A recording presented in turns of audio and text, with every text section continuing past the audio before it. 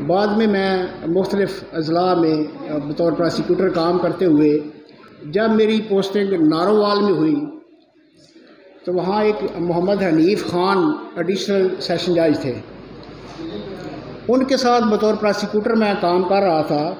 उनको मैं पहले से जानता था he was an advocate from Sheikhupura तो वहाँ पर उनके पास सिविल का थोड़ा सा काम था। While working with him in as a prosecutor in Narowal I found that he was delivering very beautiful judgments in bail application and criminal law all the जज बड़ी खूबसूरत जजमेंट वो डिलीवर कर रहे थे। मैंने उनसे पूछा कि सर, मैं आपको जानता हूँ, आप शेखुपुरा में एक वकील थे थोड़ा सा काम था आपके पास सिविल का। लेकिन ये मैं अब देख रहा हूँ कि आप क्रिमिनल के बड़े अच्छे फैसले कर रहे हैं, इसकी क्या वजह है? उन्होंने मुझे बताया कि मेरी पहली पोस्टिंग बतौर एडिशनल सेशन जज गुजरात में थी। उस वक़्त से मेरे जहन में था कि यकीनन गुजरात ऐसी डिस्ट्रिक्ट बार है जहाँ पे सीखने का मौका मिलता है। इवन जजेस को भी सीखने का मौका मिलता है। तो फिर मेरी पोस्टिंग जब 2000 में यहाँ मेरी गुजरात में बतौर प्रोसिक्यूटर मेरी पोस्टिंग हुई। आ, मैंने फॉर अबाउट 14 इयर्स यहाँ एज प्रोसिक्यूटर काम किया है।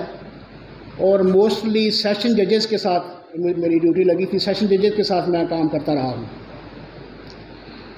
तो जब मैंने यहाँ पे चार्ज लिया, उस ज़माने में यहाँ जो बड़े टावरिंग और अच्छे वकाला थे, जिनसे हमें सीखने का मौका मिला, उनमें जनाब शेख एहसान लाई साहब, मलक ग़ुलाम सरवर अवान साहब चौधरी मोहम्मद तफ़ैल हंजरा साहब चौधरी ज़फ़र अली वड़ाए साहब चौधरी ज़फ़रुल्ला वड़ाए साहब चौधरी फ़ारूक हैदर साहब इसके अलावा बाकी और भी बहुत से काजी ज़फ़रुल्ला ख़ान साहब अहमद जमील मलक साहब इस तरह के बहुत से नाम थे जिन्होंने जो, जो जिनसे हमें वहाँ सीखने का बहुत बहुत सीखने का मौका मिला।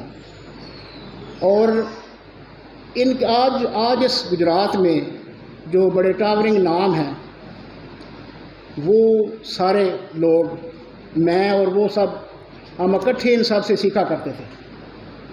तो मैं जब मेरी रिटायरमेंट हुई जेलम से I I I am living in Sarai Alamgir तो जेलम बड़ा करीब है तो मेरे पास ऑप्शन था कि I could go to the Lahore for जहाँ मैं बुनियादी तौर पे जिस बार का मेंबर था, वहाँ ज्वाइन कर सकता था as member similarly I could join Jhelum, Kharian Sarai Alamgir but I prefer to become the member of this bar association district bar association Gujrat इसकी वजह मेरी, मेरे नज़दीक ये थी कि यहाँ पे मैंने बहुत कुछ सीखा और ये बार एसोसिएशन के तमाम मेंबरान तमाम सीनियर्स तमाम लोग बहुत इन्होंने मुझे खलूस दिया, बड़े अच्छे तरीके से जहाँ मेरी ज़िंदगी गुजरी।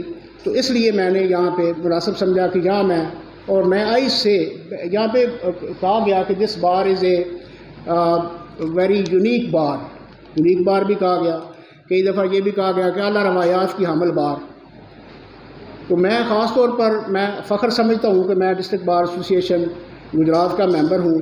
ख़ास तौर पर यहाँ पे जो नौजवान वकला मौजूद हैं, उन, उन्हें भी मैं ये कहता हूँ कि उन्हें फ़ख्र होना चाहिए कि वो बार एसोसिएशन गुजरात के मेंबर हैं। और यहाँ रह कर काम कर रहे हैं और सीख रहे हैं। तो देखें, हमारे ये डिस्ट्रिक्ट बार एसोसिएशन गुजरात को शरफ हासिल है आनर है कि यहाँ से चौधरी फ़ारूक हैदर साहब, चौधरी असद गुराल साहब, बतौर जजेज़ ऑफ़ हाई कोर्ट काम कर रहे हैं। इसके बाद बहुत से लोग बतौर एडिशनल सेशन जज यहाँ से मेहनत करके, काम करके यहाँ से हुए हैं, जिनमें नवीद अंजम सलीमी साहब मलक खान महमूद साहब, आसफ बशीर कोरोटाना साहब रिजवान डार साहब, और भी कुछ लोग होंगे जो मेरे जिनके नाम मुझे नहीं पता या मैं नहीं, लेकिन मेरे लिए जिस तमाम, ये देखिए मैं आपको नौजवान वकला के लिए ख़ास तौर पर कह रहा हूँ कि देखिए यह कितना मौका था। इन लोगों ने मेरे सामने ये काम करते रहे, या इन्होंने मेहनत की, अब वो लोग बतौर जजेज ऑफ़ एडिशनल सेशन जजेज और सेशन जज के तौर पर काम कर रहे हैं। सिमिलरली आजकल जो सिविल जजेस यहाँ से अपॉइंट हुए उनमें मैडम साजिदा समरीन साहबा, वकास अहमद वड़ाई साहब, कैसर हुसैन मरल साहब, यासर हुसैन मरल साहब, सरदार कमालुद्दीन साहब और और भी कोई मैडम फौजिया साहबा ये मुझे खोखर साहब ने बताया। इस तरह से बहुत से, यहाँ पे अगर आप मेहनत से काम करें तो बहुत से मौके हैं कि यहाँ ये ऐसा प्लेटफॉर्म है यहाँ पे कि यहाँ से सीख के इस तरह के अदलिया में जाने जा, जाया जा सकता है। इसी तरह बहुत से लोग मेहनत करके प्रोसिक्यूटर भी बने। तो मैं ये समझता हूँ कि ये इस bar district bar association Gujrat का मेंबर होना एक ब्लेसिंग है और इन्होंने ये जो मौजूदा कैबिनेट ने मोहम्मद अली राजा साहब की क्यादत में जो ये लेक्चर्स का सिलसिला शुरू किया है, ये यकीनन बड़ा अच्छा है। इससे यकीनन हमें एक दूसरे के साथ इंटरेक्शन करके सीखने का मौका मिलता है और हमें इसमें नॉलेज शेयरिंग का मौका मिलता है। तो इससे पहले कि मैं मैं आज के टॉपिक पे बात करूँ, मैं ख़ास तौर पे नौजवान